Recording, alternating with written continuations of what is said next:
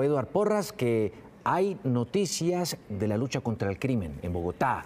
Las autoridades tienen noticias, por lo menos, que dejan ver algo positivo en ese, eh, en ese combate que se ha librado contra el crimen. Una, la captura del hombre señalado de disparar contra Laurita, la joven de 15 años que está postrada en una cama. Y la segunda, un golpe a bandas de fleteros. Héctor Rojas nos tiene más información. Héctor.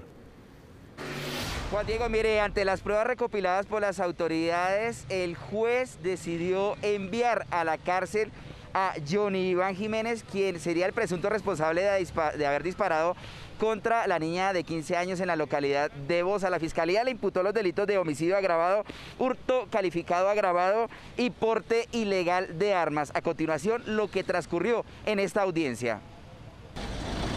A la cárcel fue enviado el agresor de la pequeña Laurita de 15 años en la localidad de Bosa. El hombre, quien le disparó en medio de un intento por robarle el celular mientras la niña jugaba junto a otros menores, fue capturado en las últimas horas gracias a la información entregada por la comunidad y estos videos que fueron pieza clave para dar con su paradero.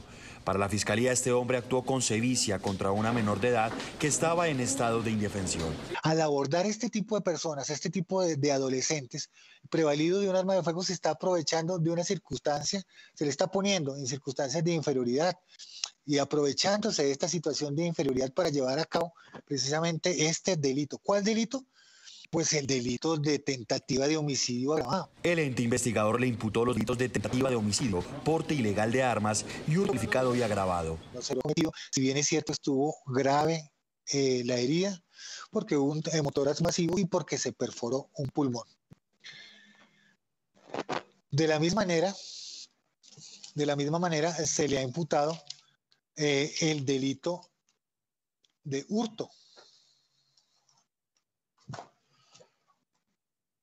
tentado porque se le manifestó a la señora, pase el celular, entrégueme su celular, déme su celular. Usted estaba intentando de alguna manera sustraérsele un bien mueble. A pesar de la contundencia de las pruebas, John Iván Jiménez, como fue identificado el agresor, no aceptó cargos. ¿Acepta o no acepta los cargos? No, no los acepto. El agresor de la menor fue enviado a la cárcel La Modelo de Bogotá. La menor aún permanece en el hospital recuperándose de las graves lesiones en uno de sus pulmones y con la ilusión de volver a caminar tras la lesión de la columna que la mantiene inmóvil por cuenta del disparo.